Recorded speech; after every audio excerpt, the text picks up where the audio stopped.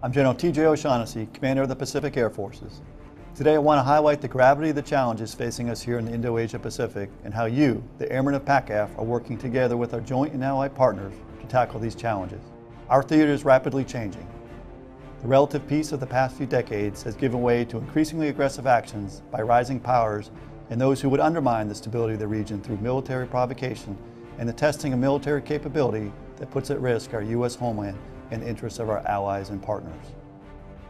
While we are prepared to respond to a wide range of growing threats, our most pressing concerns are the recent actions taken by North Korea, who seek to test and field an intercontinental ballistic missile capable of threatening the U.S. homeland. Our President has stated we cannot allow this to happen. In response to this challenge, all options are on the table. We always prefer a diplomatic solution, and the Department of State is working this extremely hard with the international community. We are in full support.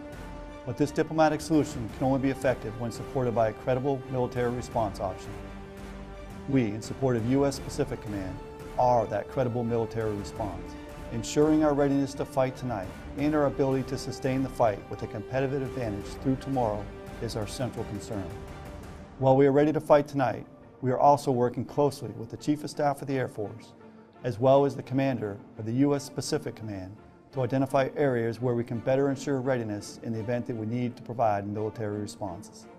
And to that end, we're increasing manning in our air operations centers, addressing out-of-theater deployment requirements for both units and individuals, as well as identifying the additional forces we need to set the theater for a military response in the event the situation escalates into a crisis. Though we will all continue to work towards a peaceful solution, we are ready to provide a decisive military response if required. Thank you for what you do each and every day to ensure this readiness and to enable our credible military capability against these growing threats. We are on the front lines at PACAF, forward deployed for a ready response. The Indo-Asia Pacific is changing rapidly, and we at PACAF are adapting to maintain our competitive advantage.